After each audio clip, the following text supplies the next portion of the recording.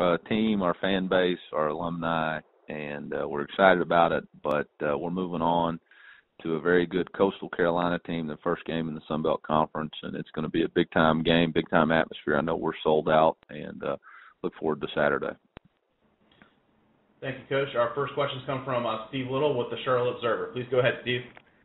Okay, Coach. Uh, to kind of dovetail off what you just said, um, it, it, it struck me this morning that um, that that you've got several games in a row here that that have been like in one way or another a big game. First, you were playing uh, UNC Charlotte.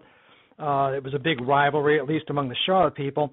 Uh, you have UNC, and, and now you've got a, uh, a game against a really tough opponent like Coastal Carolina. H- how do yep. you manage to, um, you know, each week keep get get the guys back focused after they have a big victory? How how do you bring them back down to earth or get them focused on the next game? That's just part of our core values of always competing to be better today than we were yesterday, be better tomorrow than we were today. Um, it's part of our core values of pride, passion, purpose. We have a purpose for what we're doing. Our goal is to win the Sun Belt Conference Championship and a bowl game, and we have pride in that. And pride is a personal responsibility and daily excellence. And if you approach every single day with the mindset that we're going to be better today than we were yesterday, then you can get up for anything. And not not any one game is more important than another. We're not looking down the road six months, two weeks, three weeks. We're taking it day by day, trying to be the very best that we can be uh, today. And if we'll do that consistently, then you show up and play your best ball every Saturday, and, and that's what we're trying to do. Uh, if I can follow up, the other question I had was about yeah. Demetrius Taylor from Saturday. Mm-hmm. Um, I mean, he had an unbelievable game. Have you ever have you ever coached uh, uh, someone who had a, a had a game like that where everything happened in one one afternoon?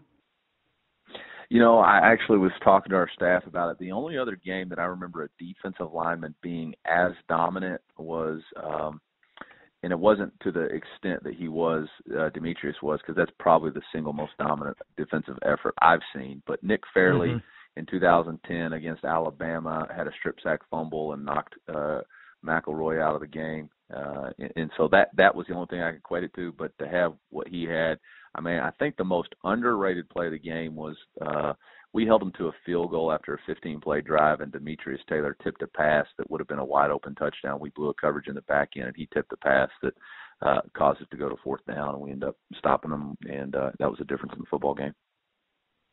He hasn't uh, bothered you about, about getting some snaps at running back, has he? After that uh, fumble return. No, the way no, the way he got tackled by by uh Sam Howell on that interception. I mean, he shouldn't be coming in here for no snaps. Crud, that sucker should have scored twice. I was all over him. okay, that's it for me. Thank you. all right, thank you. All right, thank you, Steve. Our next questions come from Alan Blondin with the Sun News. Please go ahead, Alan. Yeah, hey, Coach. Good morning. Good morning. Uh, so Coastal's been in uh, the conference now three years, and um, you know, you guys, Arkansas State and Troy, have clearly been you know the three best teams over that time. Do you think um, does Coastal need to beat one of you three uh, at some point to be considered maybe a serious contender in this conference? Yeah, all I know is they're a really good football team that's got an excellent offense and excellent defense that's scored 100 points the last two games. Number eight total defense in the country, ranked right now. Um, and so I don't know what what they need to do. All I know is that they're the next opponent for us, and we're going to have to play our best football if we want to have an opportunity to win Saturday. And for us, that's I mean, we're trying to you know you play to quote Herman Edwards, you play to win the game. So I, I don't know about anything other than we're trying to play them on Saturday. All right, Coach. Uh, I just got a couple other quick ones. Um, yeah. One, yeah. are you uh, are you guys uh, healthy? You, you going to be missing any key starters in the game this weekend? Uh, we we don't have anybody that is definitively out. We've got a lot of guys that are questionable, and I'll be able to update that on Thursday or Wednesday. Okay, so it's possible you'll be without a couple guys, but you're not sure.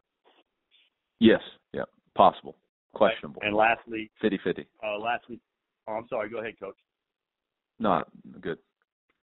Okay, yeah, and lastly, um, uh, yeah, just obviously you took over a really, really uh, good program, uh, so you probably don't want to, you know, completely change things. But can you point to anything that you've done as the head coach to uh, put your stamp on the program or change things a little bit?